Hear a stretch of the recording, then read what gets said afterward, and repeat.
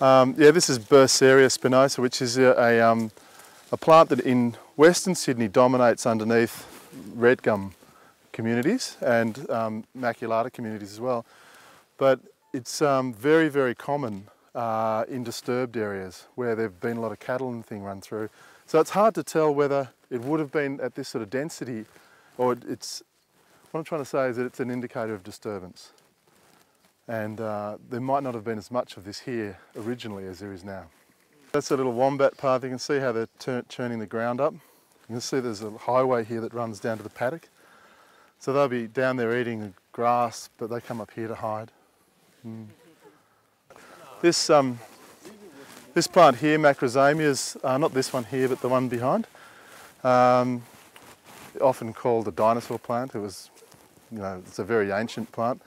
The Aboriginal women used to use it as a, uh, I don't think it's technically called a curette, but if they wanted to abort a, um, an unwanted pregnancy, they'd actually get the, the fruit and wash it in a river, running water for a week or two and smell it.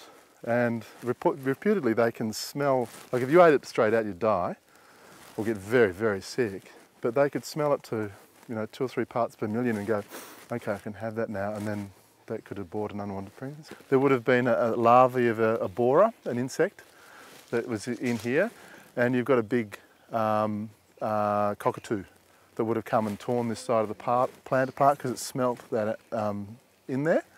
So the Aboriginal people used to actually name the plants after the grubs that were in them that they used to eat. So if they had a witchetty grub, they'd call it that tree, which made a lot of sense. Um, so I was watching some um, yellowtail black cockatoos the other day tearing apart a big punctata, a big eucalyptus punctata, and they just ripped it apart. They was going to almost die because they'd ring barked the thing. Yeah, it's incredible how, how strong they are. The other thing I looked at just a minute ago before I came is this species of wattle also exudes um, uh, this gum, which is food for possum species. And there's a, where the power lines come over, these are the big high voltage power lines that run over the, the road on the way in here. There's one uh, wattle there that's got these about 50, 60 little marks of this jaw where the um, possum's eaten into it and created this and made it bleed and they come back and suck that up.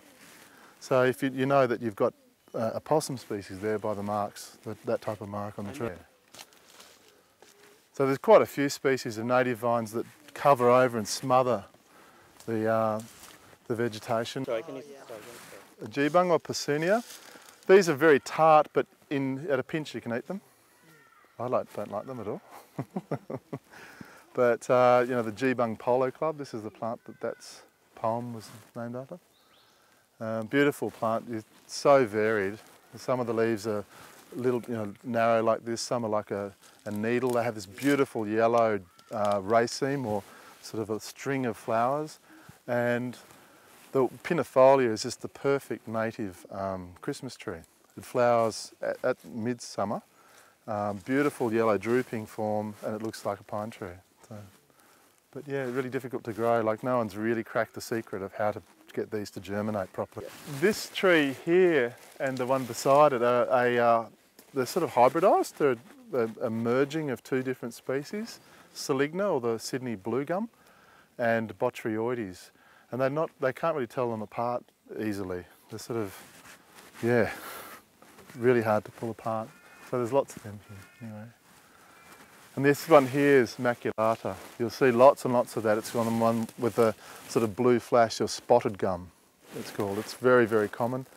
Um, probably the common, the, the predominant uh, timber species in New South Wales right now. It's, it occurs all the way up and down the coast. Burn our bushland in Sydney often enough and this plant here, which is native, is starting to take over. It's one that actually creates rainforest and eventually the rainforest will move out and out and out until it actually kills uh, other communities. Um, but then fire burns these sorts of species back, so there's this constant movement of mesophilic species or rainforesty species into drier regions, creating higher humidity, which kills the plants that are further out that don't like high humidity levels. So yeah, we have to look after this and actually kill it as part of our contracts of bush regeneration in Sydney.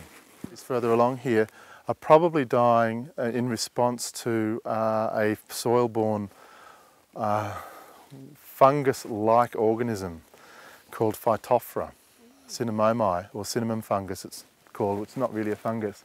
And it's actually killing a lot of trees in Sydney and in wet, where they've got sort of wetter ground, it, it gets established. But in Western Australia, they have terrible, terrible trouble with the jarrah forest where it's killing massive areas of jarrah. And so it's soil from another region or?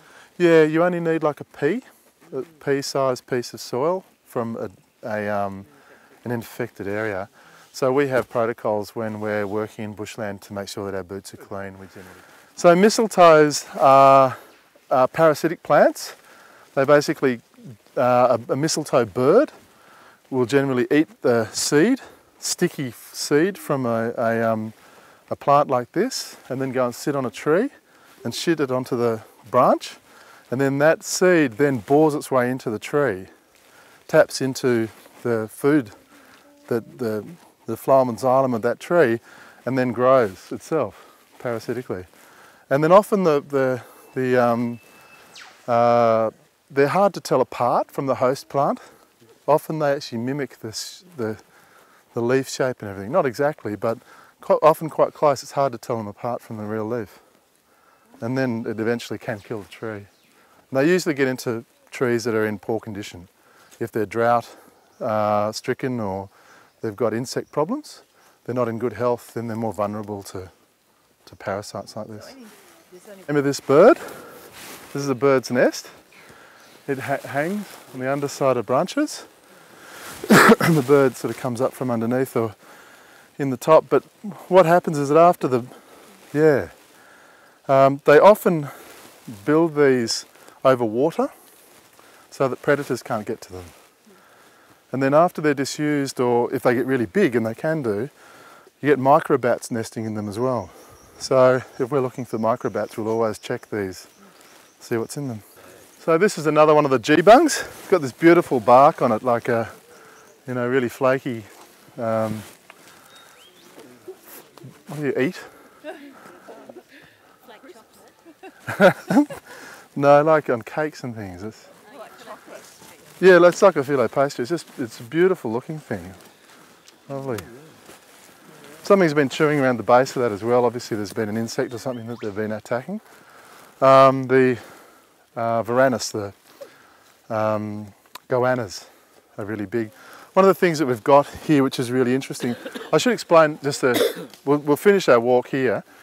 Uh, we won't get the last 15 minutes around the corner as we've got to get back to the next thing. But um, there's a few endangered species that we've found here. Uh, in fact, um, what's her name? Sue, Feary uh, was walking here doing her archaeological survey uh, with an Aboriginal archaeological survey with a guy called Stephen Hill? Smith, I think, something like that. Um, anyway, they were walking along here looking for Aboriginal artefacts. They didn't find anything at all, virtually. Um, but they did find uh, a broad-headed snake, which is a nationally listed endangered species, which loves this rocky sort of ground. So that immediately raises the, the importance of this area. Uh, then, as you'll see, I've, I've got photos of that and and also of a Varanus, a, a, um, a goanna, Rosenberg's goanna, which is an endangered species as well, listed on the Threatened Species Act. So we've got some lovely photos of that. Um, then we've also had square-tailed kite. Uh, I'm pretty sure that we've got powerful owl roosting on site. Uh, barking owl as well. Uh, yellow-bellied glider, uh, greater glider. Um, I've seen a um, breviceps, the um, sugar glider as well. And I think the signs of that chewing on the, on the acacia that I saw before might well be uh, an eastern pygmy possum, I think. So we've got a really, really good section, cross section of animals. I don't know of anywhere else that's got all of those things, but I've still got to prove that some of them actually live here, like the square-tailed kite, which is also listed, which we saw. It, um, it may live, well it does live somewhere else, but it comes and uses this area for foraging. Um, the other thing that was here was the brush-tailed rock wallaby.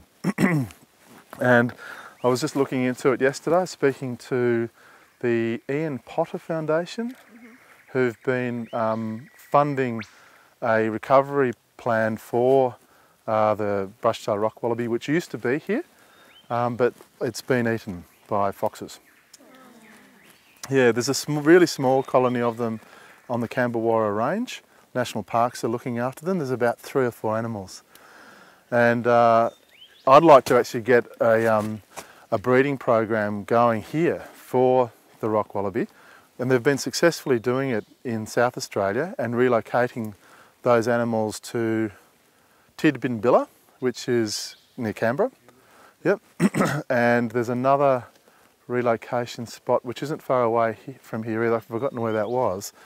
I've looked into it. They're not. they're not actually interested in doing any work here or releasing any animals here, but I'll look further into it um, because we may be able to get some money for the conservation of that animal, which would include, I hope, putting a fence in that we can use as a way of delineating and stopping foxes and other predators coming in, which would have a double benefit in that our wombats suffer very badly from mange, and the mange is brought in by foxes and other vectors. Dogs can actually carry it as well, and probably overzealous people would even maybe carry it occasionally, I don't know. But we're looking into how to, we might even get into a, a, um, a mange sort of um, study here too to find out how we can actually deal with that.